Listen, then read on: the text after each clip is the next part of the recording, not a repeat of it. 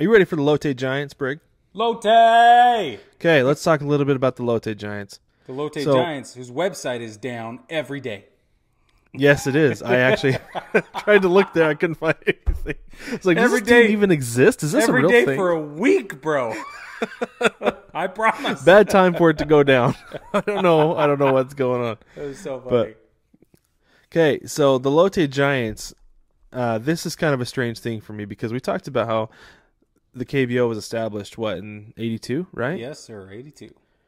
So they were actually an amateur team before that. Right. established in 1975 and then one of the OGs of the Korean League.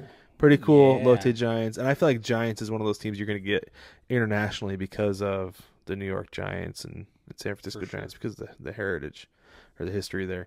So Totally. You got the you got the Lotte Giants. Their color scheme, they are blue and red. Blue and red's a pretty pretty common color scheme in Korea. It is. Come to find out. Uh, two championships, three runners up, and I've got a comparison for you. Oh, sorry, they play in Busan. I'm assuming it's Busan, B U S A it N. is Busan. Yeah. Busan. Okay. Um, they got a comparison for you. Not only the color scheme, but the Cubs, and part of that it's Axios.com says rich history, strong fan support, not as successful as you would expect.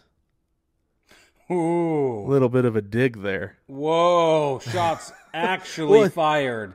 It's it's true though. I mean, you think about the fan base, the loyal fan base, and the Cubs went so long without winning. colors. Yeah. Yeah, yeah. So the Lotte Giants have not won since uh, their last Korean championship was '92. They've got one in '84, one in '92. So it's At least I they guess have a you could say it's comparable. It's true. At least they have a couple. That's right. Pretty good.